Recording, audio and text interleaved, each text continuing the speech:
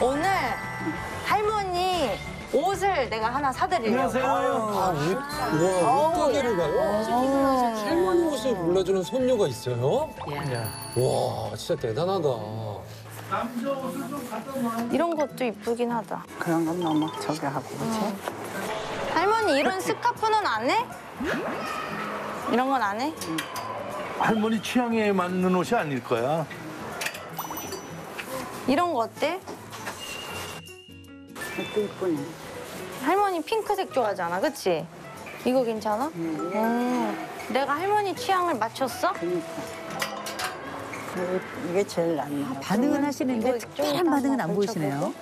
수민아, 응, 어때? 배가 돋보여. 딴 것도 한번 골라봐봐. 뭐 안에 입을 거? 이거 마음에 들어? 근데 진짜 저는 이 무게 처음 본 것 같아요. 어디 백화점 가서도 어떻게? 손녀가 할머니 옷을 골라줘요? 아니 보통 저렇게 나이가 차이 나는 경우는 매장의 직원인 경우예요. 그렇죠. 맞아, 맞아. 그렇죠. 그리고 저거는 정말 할머니하고 같이 살아도 잘 못하는 거 아닙니까, 손녀들이? 근데 굉장히 수민 양이 살갑네. 할머니 이제 세트로 한번 입어보자. 여자들은 왜 옷 고르면서 값을 먼저 보니? 비싸면 손녀한테 미안하니까. 부담되니까 어. 잘 어울리겠지?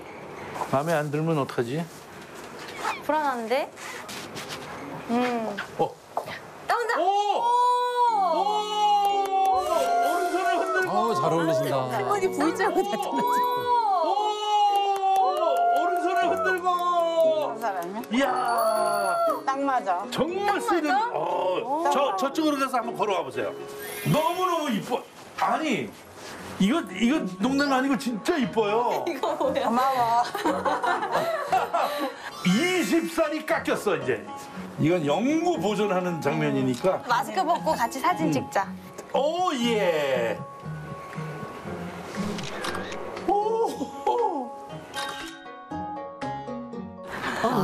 너무 기뻐하신다. 우리 살았어. 우리 손녀딸이 이렇게 이쁜 옷을 사주고 고마워요. 아이 아닙니다. 엊그저께 어린 애기였었는데 벌써 커서 이렇게 참 어른 노릇을 하고 있으니까 너무 고맙고 꿈 같죠. 저는 저런 손녀가 있으면 좋겠어요. 나도 나도 나한테 저런 손녀가 우리 손녀들이 저렇게 됐으면 좋겠어. 수민 양처럼.